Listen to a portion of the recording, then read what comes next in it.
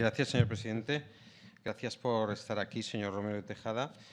Yo le voy a hacer, me he preparado nueve preguntas, a ver si conseguimos que de las nueve podamos tener alguna respuesta, porque está usted siendo muy, muy parco, yo creo, en sus explicaciones. Yo a ver si, estoy claro y usted y le facilito la, contestación. Acaba de decir usted ahora mismo que todo el mundo es igual ante la ley, dice usted, al menos en la Fiscalía. Bueno, pues yo a cuenta de eso le quisiera preguntar por su opinión respecto a los aforamientos ante los tribunales superiores de justicia. Como usted sabe, el artículo 334 de la Ley Orgánica del Poder Judicial establece que los magistrados del Tribunal Superior de Justicia se nombrarán eh, por el Consejo General del Poder Judicial a propuesta de una terna que eh, eleva el, el Parlamento de cada una de las comunidades autónomas. Y esto ha motivado, por ejemplo, que eh, gracias, bueno, esto pudo haber motivado, esto no sabemos si lo ha motivado o no, pero el presidente del Tribunal Superior de Justicia de Valencia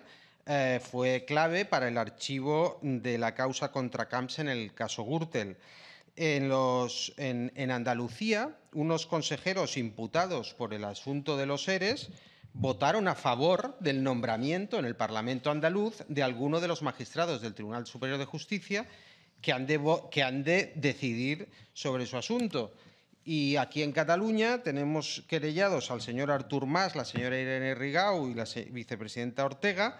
Y yo tengo aquí una noticia.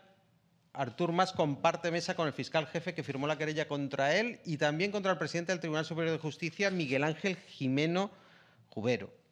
Yo le quería preguntar lo primero si esta cercanía en los nombramientos, tanto desde el Consejo General del Poder Judicial y las cuotas políticas, como la directamente designación por parte de los parlamentos, si usted cree que en determinados casos, en los de los aforados, hacen eh, igual la justicia para todos y si cualquier imputado de estos de los hurtos de las carteras a los que usted se refería hace un momento, cenan con el presidente del Tribunal Superior de Justicia y altos miembros de la Fiscalía.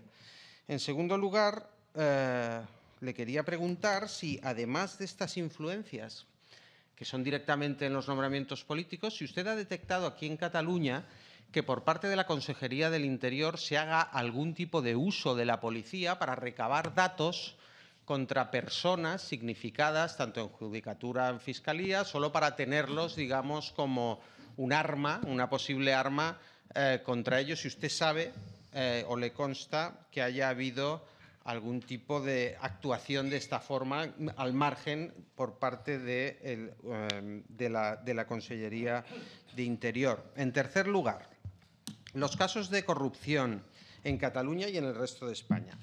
En los seres, el caso de los seres, hay gente en prisión. En el caso Gürtel hay gente en prisión.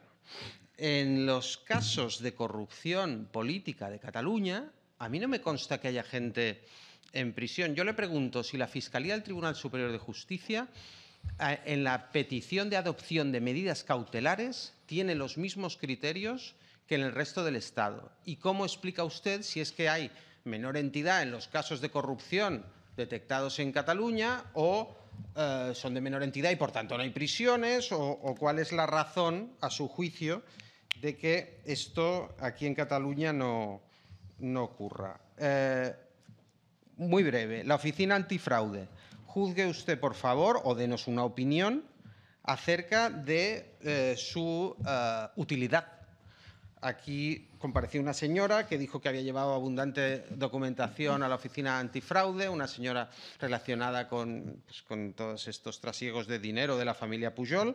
Ella dijo que había ido antifraude, que la trataron muy bien, pero que no se hacía nada. Y verdaderamente los resultados de la oficina antifraude, al menos a este grupo parlamentario, nos parecen muy, muy mm, poco satisfactorios. Quería saber la opinión del fiscal jefe de Cataluña. Eh, tema malversación de caudales públicos. ¿Considera usted que la malversación de caudales públicos eh, está incluida en el eh, apartado de corrupción política cuando las efectúan miembros eh, de pues, cargos políticos o funcionarios de cargos políticos?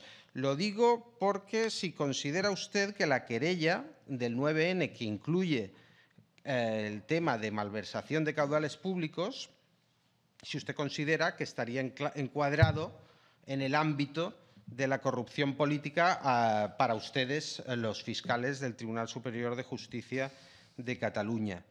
Eh, sexta, caso Banca Catalana. Usted en los años 80, según tengo entendido, se pronunció a favor de que eh, la querella prosperase, por tanto, al lado del señor Villarejo. El señor Villarejo ha comparecido en esta misma comisión y nos ha explicado que recibieron órdenes del fiscal general del Estado de aquella época, de no perseguir, de no continuar persiguiendo al señor Jordi Pujol. ¿Le consta a usted este aspecto? Séptimo, eh, ¿usted considera que en Cataluña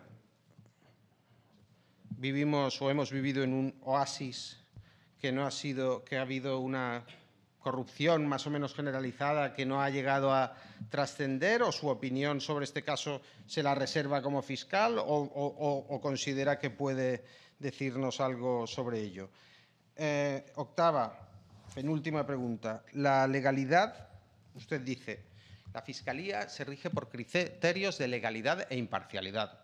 Y yo le pregunto, ¿eso cómo se eh, conjuga con el tema de que se decida por consenso entre los fiscales de Cataluña, según han dicho en los medios, la admisión de la querella del 9 de noviembre, la, interposición de la querella eh, por los hechos del 9 de noviembre contra el presidente Artur Mas y otras dos personas, según trascendió a los medios, hubo una especie de consenso en principio entre los fiscales del Tribunal Superior en que no existían méritos para realizar tal querella, cosa que luego fue eh, rebatida por parte de su superior, en el, fiscal general del Estado, y entonces ustedes eh, interpusieron la querella. Yo le digo, ¿cómo se concilian los intereses de legalidad e imparcialidad con el debate de que en el Tribunal Superior de Justicia se considere que no hay delito? Yo le pregunto también, ¿la cercanía con los hechos la cercanía con el poder eh, en un sitio pequeño influye en las personas? ¿Usted cree que puede, que puede influir?